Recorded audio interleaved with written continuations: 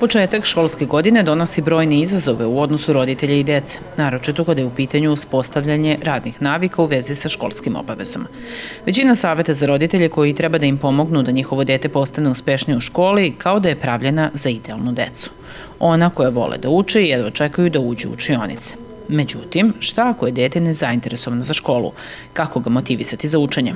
Upravo je o tome pred velikim brojem prisutnih roditelja u Kraljevačkoj biblioteci govorila psiholog Svetlana Marković.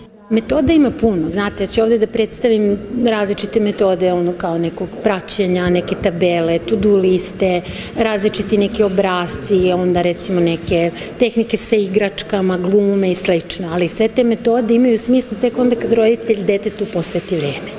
E, to je ono čega svi nekako imamo najmanje je, jel da, i negde se nalazimo najčešće u situaciji da smo u žurbi, da i mi sami požurujemo dete, da stvaramo i kreiramo neku atmosferu koja nije dobra za učenje, pa je to u suštini neka poenta moje večerašnje priče. Kako da pokušamo bar da razumemo, ako ne možemo mnogo da promenimo. Kod dece mlađeg školskog uzrasta, odnosno od prvog do četvrtog razreda, najvažnija uloga roditelja je da pomognu svom mališanu da stvori dobre radne navike. Važno je propratiti dete šta uči, šta radi za domaći i motivisati ga da bude uporno i da više puta ponovi traženo gradivo, iako mu to može biti dosadno. Mnoga deca očekuju od roditelja da budu tu i kada rade domaći, da li je to dobro ili loše? E, to je dobro s tim što je sa uzrastom to neko prisustvo bi trebalo da bude manje, da ga bude manje. Kako dete postaje sigurniji u sebi, roditelj može jel, da se polako ovaj, odvaja.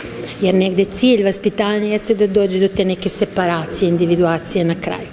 A one početne faze, naročito kad dete prvi put krene u školu, potrebno je da bude roditelj.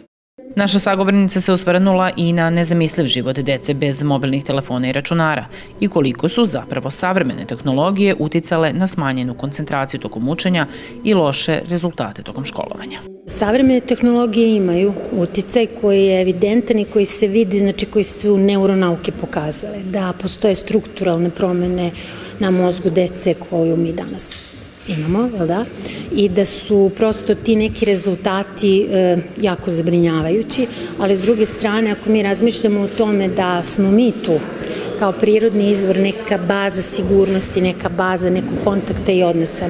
Izgleda da smo mi ono kao jedina sigurna luka i jedini onaj pravi neki trenutak i mesto gde dete može i treba da, da, da nađe negde svoju sigurnost. Roditeljska podrška je detetu potrebna u svim sferama života, pa i u učenju. Ipak, imajte na umu da je krajnji cilj da naučite dete da u budućnosti uči samostalno, bez naše pomoći. Bitno je motivisati decu tako što ćemo ga pohvaliti za svaki trud, upornost i za svaku savladanu veštinu, makoliko se ona nama činila jednostavno.